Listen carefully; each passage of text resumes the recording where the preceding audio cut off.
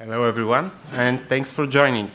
My name is Dimiter Naydenov, and I'm a freelance Python developer from Sofia, Bulgaria. Today I'm going to talk to you about extracting tabular data from uh, PDFs and uh, the problems I faced and as well the solutions which I found. So let's start by a quick overview of what this talk would be about. So, sorry. First, we'll have a brief history of the PDF portable document format and its internal structure, specifically how um, specifically how tabular data is represented and uh, why it's hard to actually extract such data. Then on to Camelot and Excalibur, the main focus of this talk. Um, I'll see, uh, I, I, will list uh, the features which uh, those uh, libraries uh, make available for use and why it's so easy to use them to extract the tabular data and get control over the extraction process as well. Then there is time for uh, some quick demonstration, uh, which I'll show you how to use the Camelot API uh, and uh, how you can tweak the extraction process to suit your ne needs. Um, and uh, at the end, we'll have uh, some Q&A and also a look at possible improvements that can be done.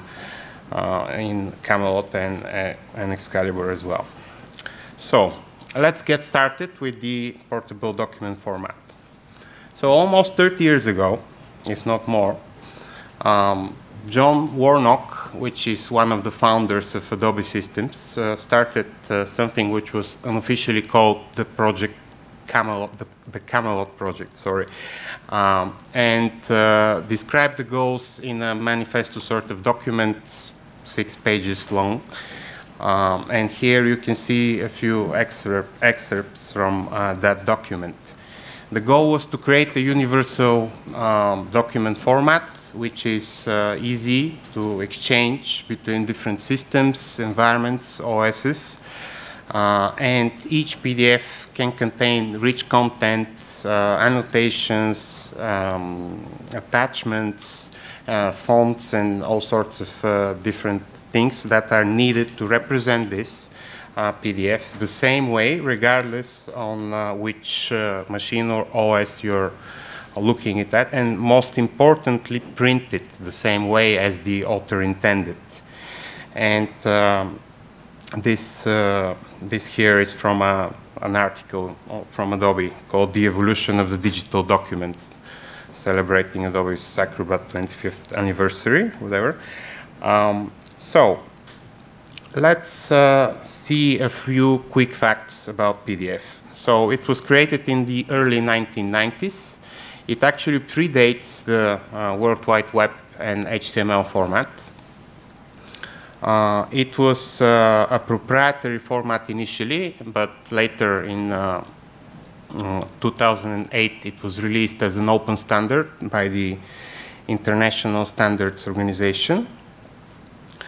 It's based on a subset of the Adobe PostScript, which is a page description language, and um, a subset because PostScript itself is, is quite broad and uh, it's practically a programming language, although it doesn't look so.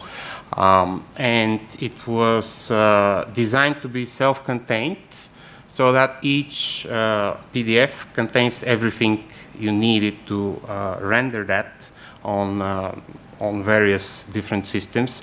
And in order to do that, it uses font embedding uh, and attachments and annotations and uh, various other things. Um, there are 13 versions released so far um, eh, since 2008, as I said, uh, version 1.7. It's an open standard. Um, and it's structured as a hierarchy of objects. So there is uh, the page catalog, uh, the uh, sorry, the document catalog, which contains each page, and within each page, then you have uh, different uh, types of content which, which are also hierarchically structured. uh, and those objects can be words, paragraphs, fonts, and so on. So, oops, sorry. Um, there is a, an, another view of the PDF structure, uh, which is more kind of close to the physical layout of it. So it has a header, a trailer, and uh, also uh, cross-references tables, which also contain references to other objects within the PDF, can also contain revisions because PDF was originally designed to be revisable and you could save multiple revisions within the same PDF. And um, yeah, and what else? No tables whatsoever. There are really no concept of tables in PDF. Um, tables are actually um, defined as absolutely positioned text boxes on the page, and they're laid out in the reading order, or although they don't have to be. Uh, so basically, they just look like tables, but there is no information internally about whether this is a column or a row or what relationships there are between those. So if you ever try to do, you know, copy pasting from, Excel, from uh, PDF, um, you might have found, you know, that it's not so easy to do. Um, you know, uh, basically you might be lucky sometimes, and uh, depending on the way the PDF was rendered, you might get, you know, uh, one or two rows or maybe one or two columns uh, easy to select. Uh, but basically, you just need to do one by one select, select copy and paste somewhere into probably first Notepad, then Excel, and so on. Um, so there has to be a better way than this, right? And indeed, there are. There are multiple ways to do it. Uh, one of the first things I found, first tools which I found uh, that works well, is uh, called Tabula. It's a, a, veritable, you know, open source project, quite uh, long, you know, uh, in uh, terms of history and so on. Unfortunately, Java-based, but open source. there is also PDF Plumber, which is uh, Python open source, PDF tables, which originally was open source, but now is proprietary. There is also a PDF table extract, which was um, basically no longer maintained, unfortunately, and various other proprietary, uh, free or paid online services, among which uh, ones which, which I tried is called OCR Space. So, and then we come to Cam Camelot and Excalibur. Uh, I've come across Camelot um, in search of something better, which is open source, Python based, uh, and gives me more control over the process because most of those tools have their drawbacks and advantages, but basically none of them works as well as, uh, as, as, I found Camelot works. So Camelot uh, was uh, started in 2016 in um, uh, a place called Social Cops in Bangalore, India, by a guy called Vinayak Mehta. Uh, great guy. I've uh, had some chats with him. he actually was facing a problem where a lot of uh, the open data which uh, was available and published by the Indian government or administration was in the form of exported PDFs with tables in there and you know just take it from there. So um, yeah, basically he needed something which is uh, configurable and also developer friendly in a way because he was learning on one hand, you know, how to do it and also using what it was available, but couldn't find something which is exactly fitting what, uh, what he wanted.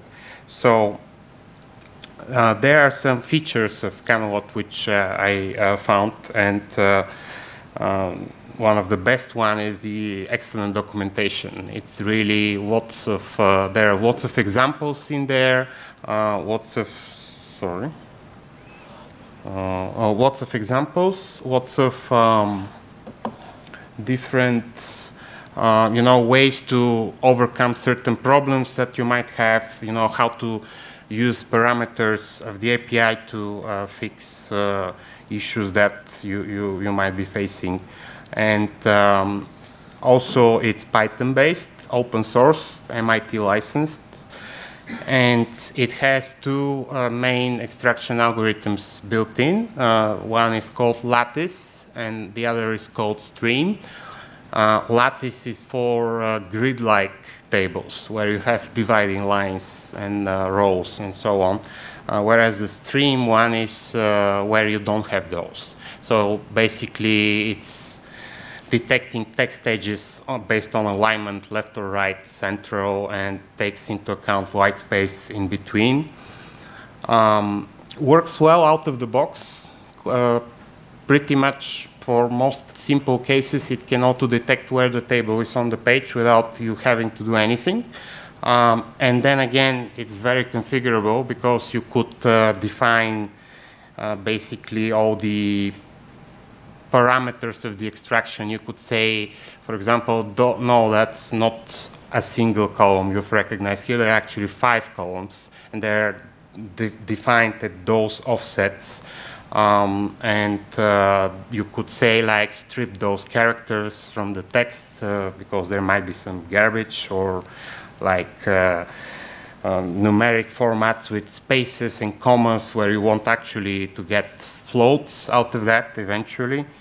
Um, and it also exports to various useful formats, CSV, TSV, Excel, JSON, HTML, and pandas data frames directly. So you could use it directly into uh, your ETL workflow.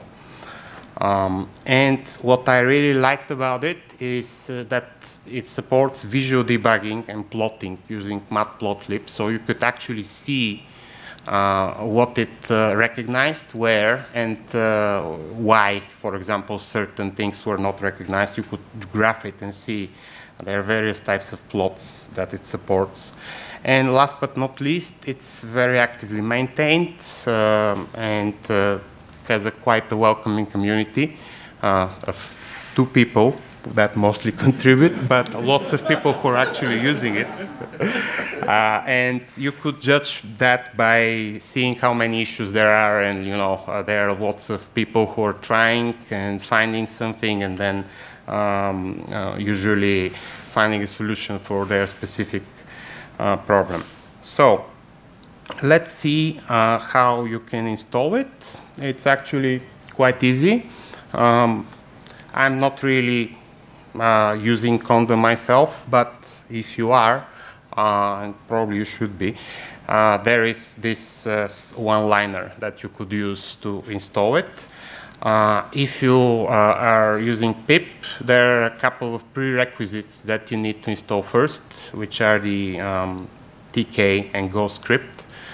And then you can install it uh, with pip, uh, simply like pip install minus minus upgrade pip for various reasons, camelot dash py and square bracket CV. That's because it's, uh, uh, there are various different sub-packages, uh, and uh, the one you want is the one that includes OpenCV in it. And for Excalibur, which is, I don't, I don't know if I mentioned, but Excalibur is the web front end of Camelot. So it's uh, uh, if you ever use Tabula, it's kind of the equivalent of Tabula's front end, and it's Flask-based uh, UI and has an API and it uses Camelot underneath.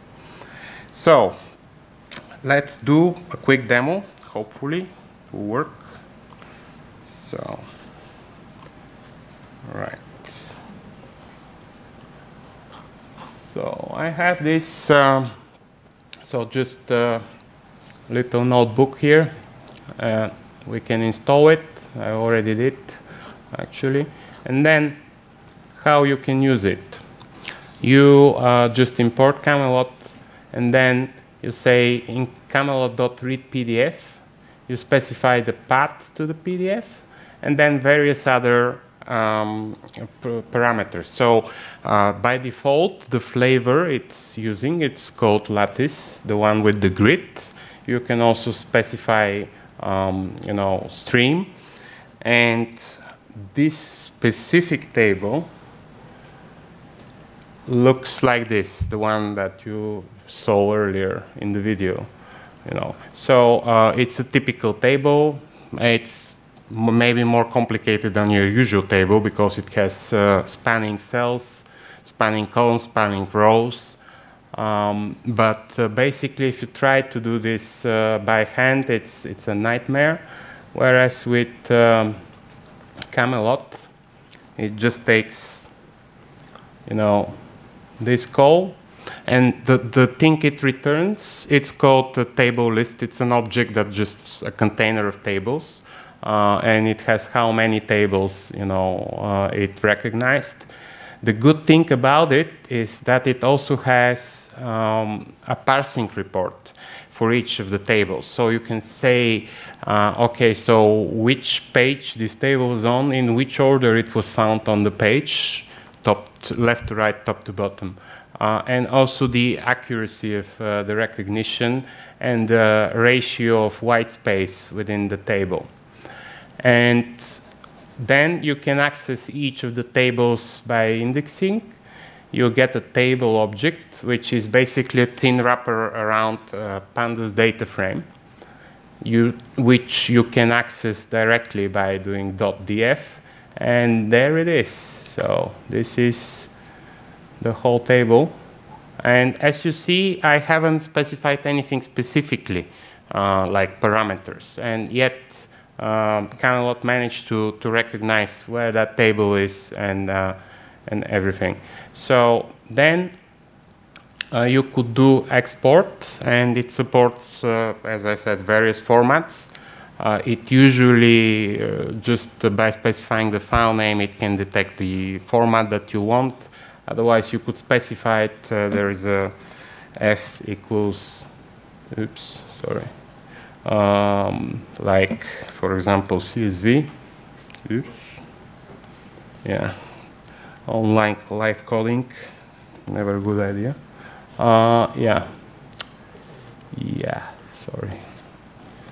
It's not my usual keyboard. So, uh, yeah, I haven't run the whole frame. But yeah, so basically, this is what it outputs. So it uses the page and the order to define the file name because you could have multiple pages, multiple um, uh, tables on one page. And the rest is plain old CSV, you know, as you can then import and reuse whatever, uh, however you want. It can also do uh, JSON exports. There is the, the F argument I showed you. It's not necessary here, but yeah, uh, which is, yeah, as you see, just plain uh, JSON. Then, uh, again, you could, of course, uh, then load this back as JSON and uh, process it as stop doing things, sorry. Um, and so on. But this is the kind of the, the best part of it, which is the plotting. So I probably have to rerun that whole thing because it's a bit messed up, but basically you can tell it to plot, and there are several different kinds of plots. So uh, one of the um, one of the plots is the grid plot. Maybe there is no internet. Yeah. So, yeah. Sorry about that. But I can probably show you. Uh, yeah, so basically, if you. Can I? No. Yeah. Um, it's the documentation is really excellent. There is every parameter in there is uh, is well documented how it affects uh, everything, and this is, for example, Excalibur, um, uh, yeah, which is the web front end. So it basically goes, yeah, sorry, zooming issues, but yeah, basically it um, looks very much like Tabula. Uh, if you haven't seen it, it's uh, basically something that you run locally. So there is no data privacy issues or you know GDPR and so on. Everything stays on your machine. You can just upload it, and then it uh, you can specify what pages you want uh, and so on, and then it shows you up uh, shows you the table, for example, like this, and then you could just use auto detect, which usually works and it immediately finds the tables you want. Or if you want like uh, just uh, a subset, sorry, a subset of that, uh, you could just like, oops, sorry, it's really the scale is, uh, basically you can resize it, move it around and like place it where you want it and then go and yeah. So there is this refresh thing because it's uh, supposedly uh, so it, it, it's it's architectured so that you can run it on Celery as well. So you could uh, you know parallelize multiple extraction jobs and uh, it's asynchronous by design. Uh, but yeah, I'm, I guess there's some issues with the with the Docker container I'm using here, but yeah, so uh, that's Excalibur itself has uh, some some things that can be done better. Um, it's uh, barely, you know, it's just a bare UI uh, that allows you to do those, uh, you know, selections um, and, uh, you know, just do this. There is also the, um, you can choose the flavor here, in this case stream. You could also uh, add columns to say, okay, so I just want, for example, uh, only those two columns here. Uh, whether it will work is another. Ah, okay, there it is. So, uh, and it shows you what it got extracted. You can then export it to various formats It actually zips it up and uh, downloads, gives you a, a downloadable version. Uh, and there are also the rules, which uh, basically are JSON um, JSON files, which basically are the same um, parameters that you can pass to read PDF, more or less. So you could define table areas uh, which you're interested in on the page. You could have multiple table areas. Uh, you could define the columns. You could say, uh, for example, whether it should process backgrounds, uh, because, for example, there are some tables which are, I'm not sure if I have such. Yeah, for example, this is a typical gridless table which uh, can be um, processed. And let me see if I have it here. Uh, probably or maybe not. Anyway, so um, it's basically uh, trying to make uh, make the usage of Camelot easier for you know uh, non-technical people, but uh, it's really easy to use otherwise. Ah, okay, so it actually worked. Uh, so this is one of the graphs, which is the text graph. It detects all the text boxes on the page and graphs them uh, and there, ah, there is that one from before. Yeah, so you could say like strip certain characters, which I don't care about. And yeah, so the other angled brackets are gone. There is a comma here, which is gone as well.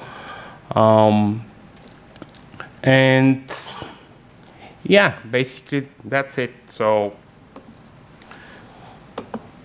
it, it, it, has a lot of uh, a, a, lot of things which you could try, and it's uh, with Excalibur especially it's good because it's kind of an iterative process. So you can try it out, see what it extracts, then go back, try uh, tweak things a bit, see how it works, and all those rules actually are then saved. You could then change it and upload new ones, and then use those tools with uh, Excalibur as a CLI to automate like batch extraction of multiple, uh, you know, similar structured documents uh, with it. And yeah, so it shows all the jobs. So the, each file is a job, and yeah, okay. So that was hopefully useful. Um, and then I just have one more thing, which is future improvements and uh, questions. So there are currently some known issues. Uh, one of the issue is uh, performance when it comes to multi-page PDFs, and by multi-page I mean over 100 pages. Um, there are like uh, issues with memory footprint sometimes, but they're being worked on. Uh, GhostScript seems to be an issue for a lot of people because different OSs, different sorts of uh, libraries and things, um, it uh, can be tricky to install, even though it's it GhostScript itself is a depend is a prerequisite for Matplotlib. But anyway, uh, there could be more tests. Currently, there is like 89% test coverage, uh, although it could be improved. And yeah, as I said, better memory footprint. And of course, anything you might else you might think of as well. So that was it. I hope you found it useful.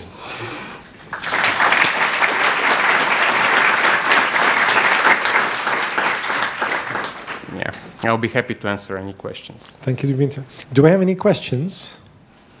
Yes.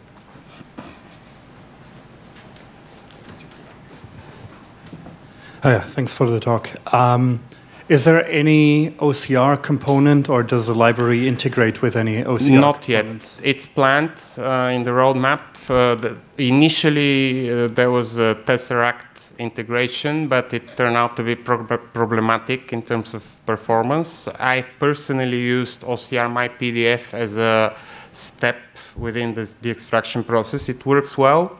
Uh, it's still kind of experimental. But yeah, yeah.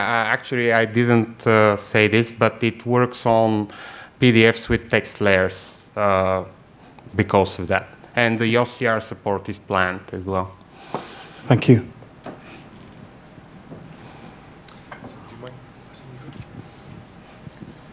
Yeah. I, I had a question uh, where uh, what exactly do we make uh, with the precision accuracies, right? So you, there is an accuracy which gives the percentage. I mean, I understand that it says uh, I, it is recognizing it as a table for 100%, but with white spaces, So- how exactly do I see that it is? Uh, That's actually there is an issue on the repo about this whether it's actually useful.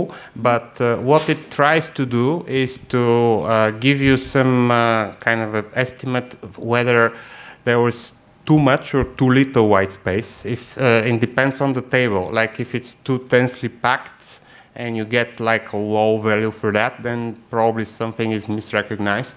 Whereas the accuracy is, uh, if I'm not mistaken, more about uh, correctly, uh, you know, recognizing text boxes within the range, within the area of the table, and how they overlap, and uh, that gives you some confidence.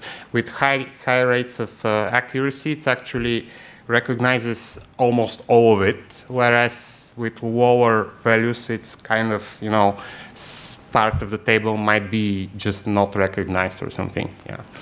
Yeah, I mean, I was trying to recognize tables using uh, this, and one problem which I came across was I was using lattice all the time, and uh, I think yeah, when we have when we're using stream, uh, we are supposed to give the boundary uh, bounding. I think we need supposed to give the coordinates, or so we're supposed to say, okay, this is the area where you uh, where it has to look for a table right now. Yeah, That's so my- you could actually see this with uh, so with with lattice there are three s- three or four different types of plots you could use. One of them is a joint plot, where, where it uh, plots basically every intersection of the lines. So it, you can see where the, the, rows are, where the spanning columns are, and uh, there is the line plot which also shows you, you know, where the, so it's using OpenCV underneath, so basically it uh, uses some various filtering and uh, thresholding and so on. So this kind of, uh, the, those metrics come out of them, uh, out of there. Okay, fantastic. Thank you so much. Let's give Dimiter now another round of applause. Thank you.